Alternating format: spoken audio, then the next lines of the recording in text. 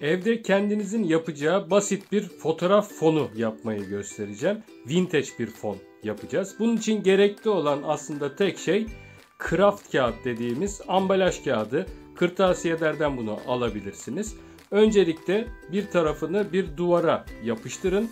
Alt kısmını da bir sehpa ya da masanın üstüne bırakın. Böylece sonsuz fon şeklini vermiş olacaksınız.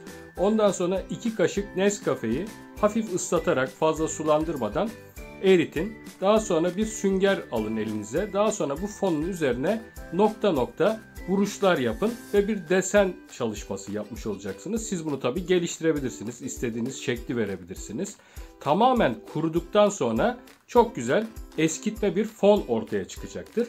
Siz bunun üzerine istediğiniz objelerle, meyvelerle güzel bir kompozisyon oluşturarak güzel bir still life fotoğraf çekebilirsiniz. Bu kağıdın daha büyüğünü bulursanız gene bu çalışmayla çok güzel de bir portre fonu elde etmiş olursunuz. Evet bunun gibi kendin yap fotoğraf projelerinde zaman zaman anlatmaya devam edeceğim.